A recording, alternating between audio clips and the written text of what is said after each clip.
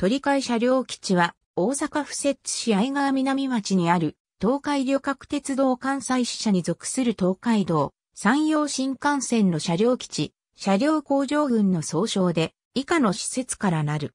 単に鳥海基地、あるいは鳥海車両所などとも呼ばれる。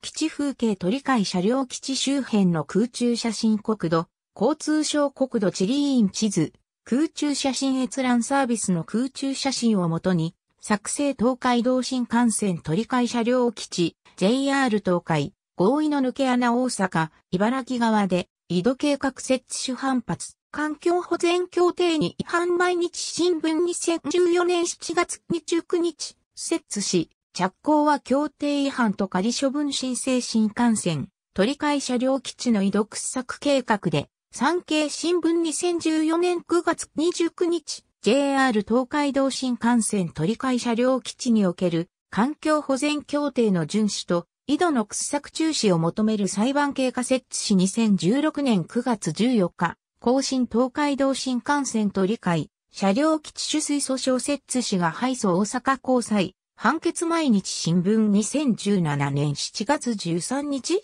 東海道新幹線取り替え車両基地に車両避難策 JR 東海が浸水対策まとめる鉄道チャンネル2020年11月26日、新幹線を水没から救え、1967年7月豪雨、伝説の戦いが伝える教訓イティメディア2019年11月1日。